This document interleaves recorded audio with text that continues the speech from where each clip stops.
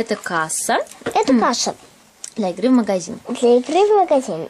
Значит, вместе с кассой у нас идут в комплекте корзиночка, там связка винограда и еще был початок кукурузы. Сейчас Он потерялся. Да, ну можно заменить его любым другими, другими овощами. Например, мандарин. Ну, что ж, включаем кассу.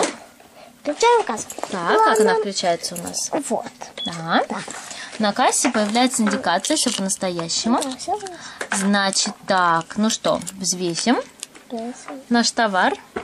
Когда мы надавливаем на весы, тут загорается индикация. Индикация. Вот, значит, теперь сканируем. Теперь скорее. Оно работает как полноценный калькулятор.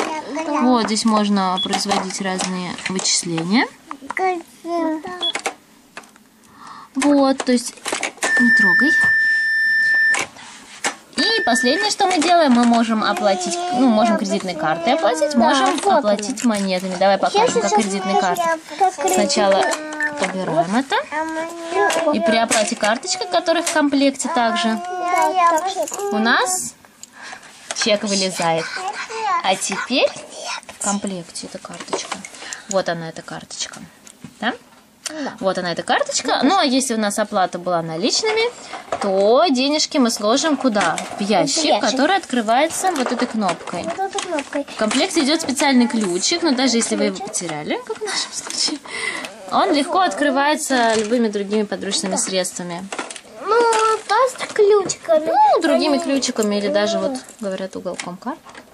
Да. В общем, кассу взломать несложно. этой- этой А теперь нажимаем на кнопочку и оп, вылетают монетки, которые тоже идут в этом комплекте. Еще были, по-моему, бумажные денежки. Да, были бумажные денежки. Сейчас мы их положили, потому что они у нас не в комплекте, как очень жалко.